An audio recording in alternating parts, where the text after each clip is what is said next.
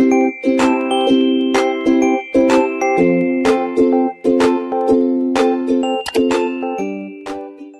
guys! Welcome back to my channel. Don't forget to subscribe. Josa Mercado. Isipin mo na lang si Bea Alonso yung pinapanood mo. Char!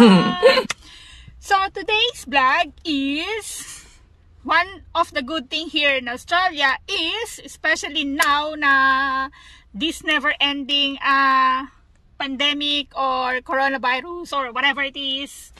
So, due na ako sa booster shot ko. Kasi 3 months na ang nakakaraan after my last uh, dose of uh, AstraZeneca. So, maybe like last two weeks ago, they called me and asked me like if I want to book my another boo- booster shot. And I said yes. And I found out like uh, I will have a Pfizer. But then, uh, so nung nagpag-book ako, so my family, you know, my family are scared na baka hindi daw ako maka-attend ng birthday kasi nagkaroon nga ng mga effect-effect tong mga booster, itong mga vaccine na to sa akin. So, nung nagkaroon ako ng first shot ng uh, AstraZeneca, nang hina yung katawan ko, tapos masama lagi yung pakiramdam ko for a week. Then yung nag-second dose ako, not too bad. And kaya na-delay ng another one week itong booster shot ko kasi nagkaroon kami ng birthday. Baka hindi daw ako maka-attend. Charot.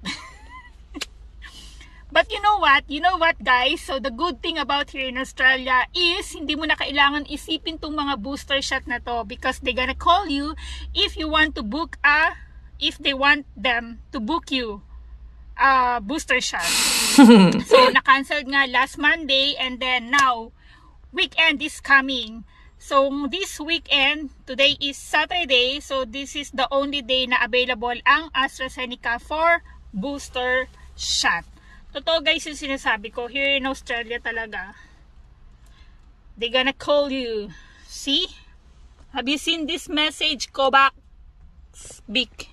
Yan, yan yung mga message nila sa akin. Our records show that you are due for your third dose of COVID-19. You can attend anytime of the following blah blah blah blah blah. So, yan, yan yung mga text nila sa akin.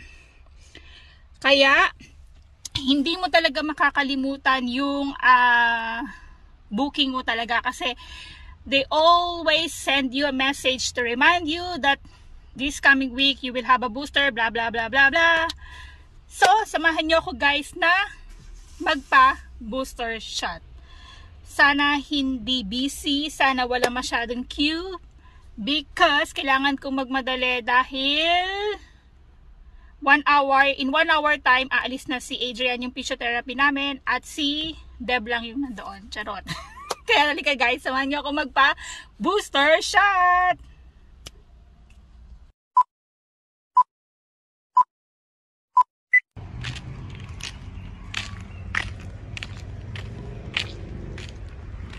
Hmm. Disisit pansit.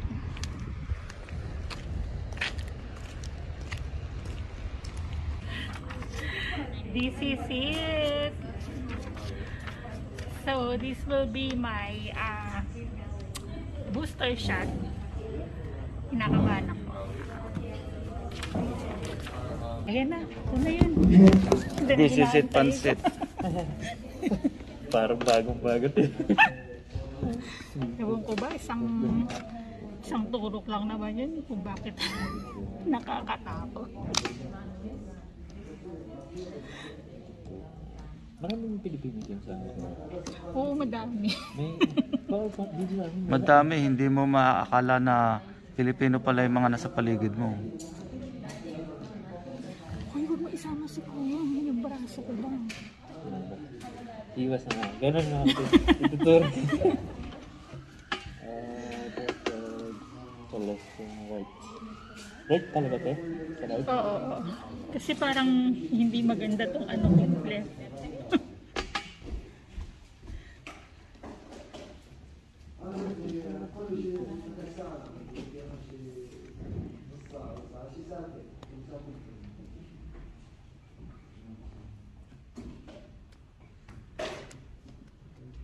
A few moments later. Ito, papakita ko lang ha. Sa Senegal. Sige, Kuya. Ano? Okay. Kung tingnan yun dito, patay ka naman sa neighbor. Hindi, kaya nga ayoko ng vaccine.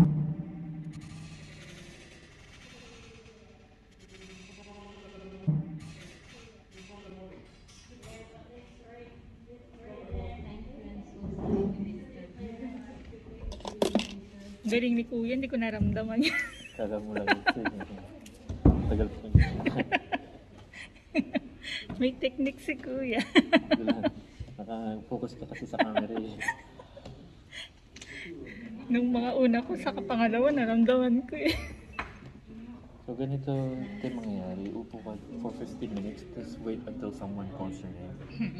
And then, while waiting and si sila, just let them know. Ah, huwag mo nang kalimutan na right. Sige. Dapat kayo, kuya, sa ano ka na rin yung magpapakuna sa DPG kasi medyo ano sila. Kung gusto mo lang. Pero meron naman dyan sa, sa Well, Okay na.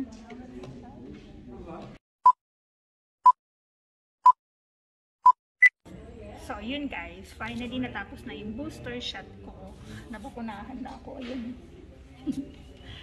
Nabakunahan na ako. Nabakunahan na ako Kuya. And so, after mo na nabakunahan, so you have uh, 15 minutes to wait para i-clear na walang side effect yung um, shot sa'yo. And sabi ni Kuya, meron daw kaming libreng rat. Okay? So itong rat na to, very important to. Kaya hindi natin sasayangin kasi libre to guys. Libre. Especially now, ang hirap-hirap maghanap nitong rat na to. Kaya aantayin natin na bigyan tayo ng rat. So 15 minutes of waiting and then after that, we can go home. A few moments later. Ay, yep, yep. Yes? Georgiano. It's Tipotron, R-A, J, A, N, O.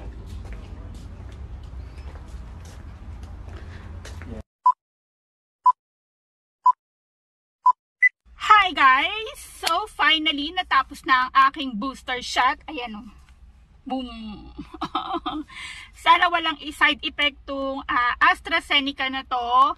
At ah, good thing is wala masyadong pila, konti lang ang tao, hindi siksikan. So I have some video as well doon sa loob ng ah, hole. So makikita nyo yan guys. And of course, the never-ending good thing about here in Australia is we have another free of rat. Yon, rat. C7 test yan. Plus also, we have free sanitizer. O, ba? Saan ka pa? E, dito ka na sa Australia. Charot. Pero magaling si kuya. Hindi ko naramdaman yung ano niya. Hindi ko naramdaman yung pagturok niya sa akin ng needle. Kaya sana lang walang side effect to. So, thank you guys for watching. So, don't forget to subscribe on my channel, Josa Mercado. And don't forget to click the notification bell para lagi kang updated sa mga kagagahan ko pa. See you guys!